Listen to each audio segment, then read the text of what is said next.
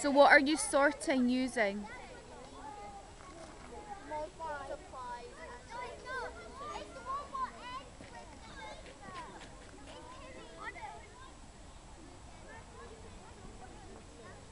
So which numbers will go into this circle?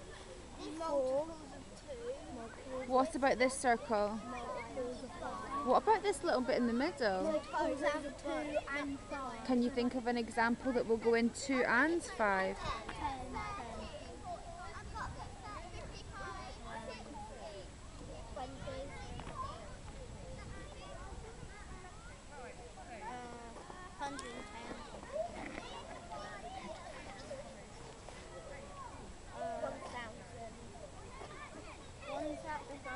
What about 61?